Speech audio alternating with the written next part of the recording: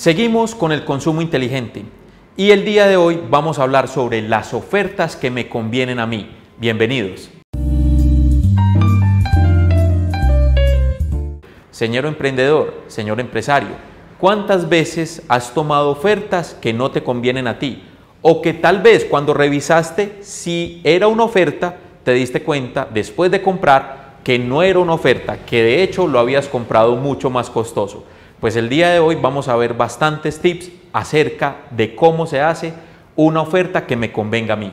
Para eso vamos, voy a hacer un ejercicio contigo, que si quieres paras cuando yo haga la pregunta, porque es un ejercicio donde muchas veces caemos por consumir rápidamente. El ejemplo es el siguiente. Compro una camisa y una corbata que juntas valen 110 mil pesos. ¿Cierto? Ahora lo vamos a poner también en dólares. Una camisa y una corbata que valen 110 dólares. La camisa vale 100 mil pesos más que la corbata. Obviamente, aquí como estamos hablando también en dólares, entonces la camisa vale 100 dólares más que la corbata. ¿Cuánto cuesta cada prenda? Si tu respuesta fue que la camisa vale 100 mil pesos y la corbata vale 10 mil pesos o 100 dólares la camisa y 10 dólares la corbata, te equivocaste. Y así muchas veces caemos en el consumo.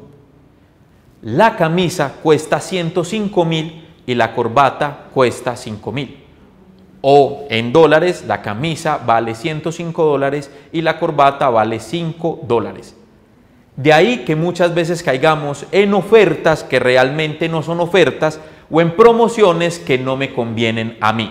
Para eso entonces te voy a entregar cinco tips para que empieces a mejorar en las ofertas ahora que estamos en estos videos trabajando sobre el consumo inteligente.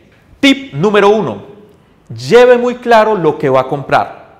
Muchas personas no tienen claro a la hora de comprar qué es lo que van a comprar por eso se encuentran con que cuando llegan a su hogar o cuando llegan a su empresa, se dan cuenta, Dios mío, compré más de lo que tenía presupuestado comprar.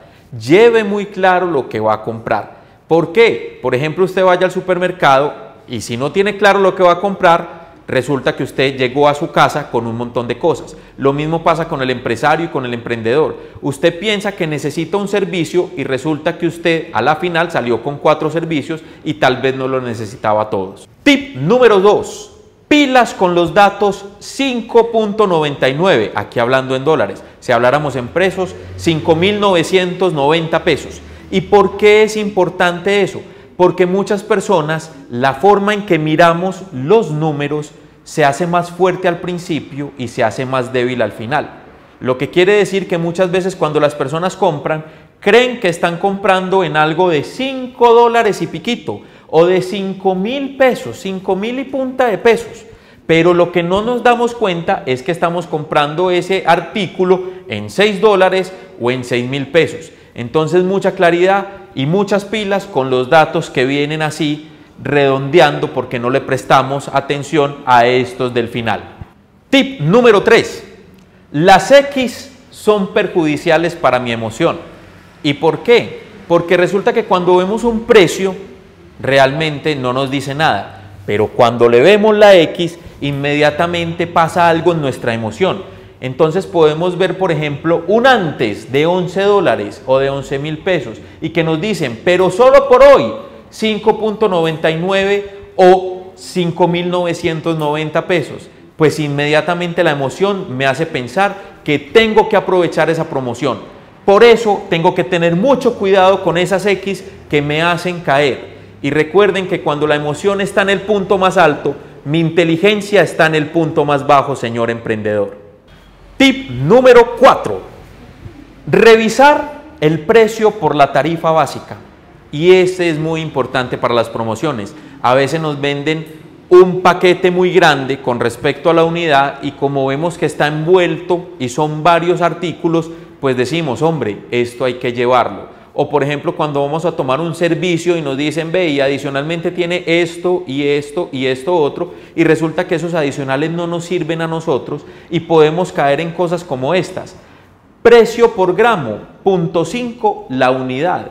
Y precio por gramo del paquete grande que estoy comprando, punto 7. ¿Qué me doy cuenta ahí? Que realmente no es una promoción, que realmente estoy pagando más que si estuviera comprando la unidad. Por eso ahí tengo que tener mucha conciencia y mucha inteligencia porque tengo que revisar el precio por la tarifa básica. Lo mismo pasa en los servicios. Tengo que comparar los servicios. No puedo sumar un servicio que me ofrece un montón de cosas con una tarifa que solamente me está ofreciendo dos o tres cosas adicionales. Entonces, seamos inteligentes con ese tip número 4.